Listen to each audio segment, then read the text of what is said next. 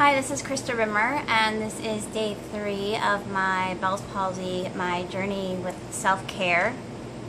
I was diagnosed with Bell's palsy three months ago, and about a week and a half ago, I um, decided to start taking care of myself better. I'm a certified hypnotherapist, and all the things that I would normally recommend to a client, I was not doing for myself.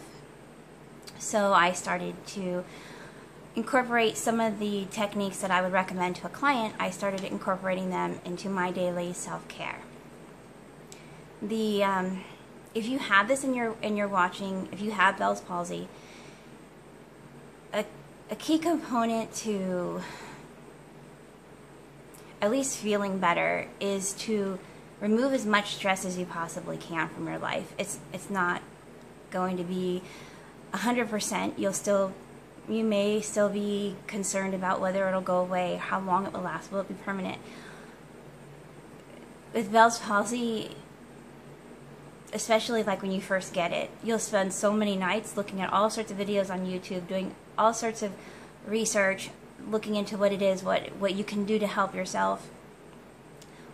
One of the main things I I believe is is awareness of how much stress you're under it seems to me that when I've had a stressful situation or I've overworked myself or done something, we're in Arizona, so it's, it's really hot here, and if I've overworked myself or, or did yard work or something, it seemed that whatever progress I had um, regressed.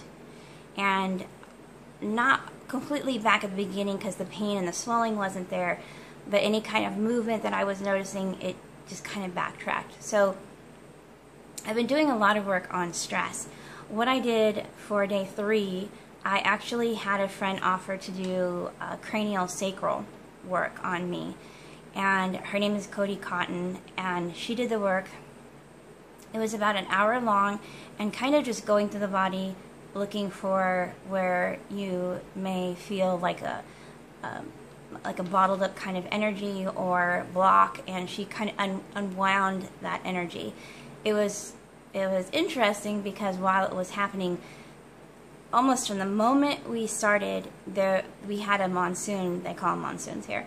Um, we had a monsoon here in arizona and there was lightning and thunder and you could hear the crack and and the, the noise of the thunder and it was it was amazing because it was all happening it seemed it was all happening in correlation to what was happening to me on the table. So I'm not saying that I caused lightning, but I caused lightning. Just kidding. And it was afterwards I felt so much more um, at ease. I didn't feel as stressed out about about my face and about progress or, or any of those things. I, I felt a lot more relaxed. I've also been using uh, essential oils. I use lavender a lot because it's very calming. So I use that for uh, stress because it calms and it helps relax you. And for here in, in front of my ear and behind my ear, I've made a blend with helichrysum, thyme, and peppermint. And that's for stimulation of the nerve. And so I put it in front of my ear and behind my ear. Peppermint you don't want to get too close to your eye because it may cause like some um, aggravation, irritation. So I just put it here and here where the nerve comes out. And I've also been doing hypnotherapy. I'm I'm a hypnotherapist and I did not do any hypnotherapy on myself for the first three months. So I recorded a hypnotherapy session, basically giving myself suggestions in regards to the healing of the nerves and my face coming back to the way it was before or better. Or better. And i also do during the day i do visualization. So with visualization i just relax and i imagine myself smiling. So i just close my eyes and imagine myself smiling. And while i'm doing that I imagine myself, myself, I imagine myself smiling and what it would look like if I was smiling. And I imagine my eye closing perfectly on its own. And as I'm imagining those things happening physically inside, what I'm thinking is every day in every way, my face is healing. Every day in every way, my face is healing. Every day in every way, my face is healing. And I do that whenever I can think about it during the day and right before I go to sleep.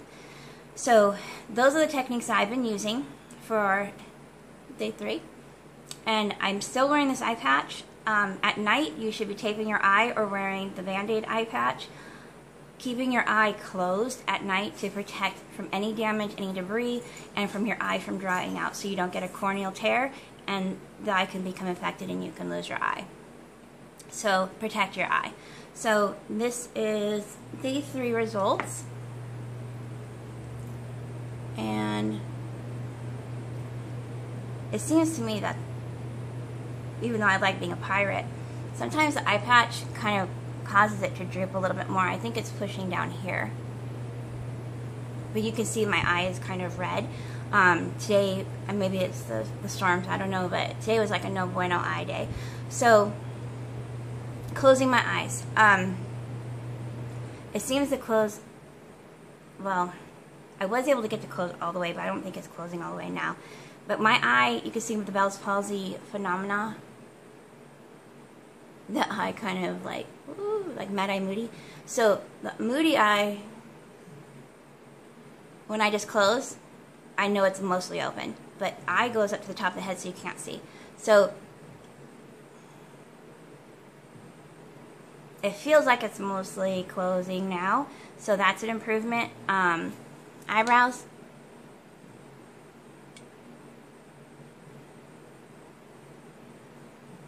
this one so this one is it's moving but not as as not all the way up nostrils so there's some movement there um if I just it's mostly even now and then that's with um, but if I smile like really smile but no teeth it's a lot more here. But I feel tugging here, and I feel tugging here, which I wasn't feeling before I had some of the work done. And then pursing your lips. It's still. But I have noticed improvement, so I'm going to continue with my self care and I will be back tomorrow and um, we'll go from there. Thank you so much.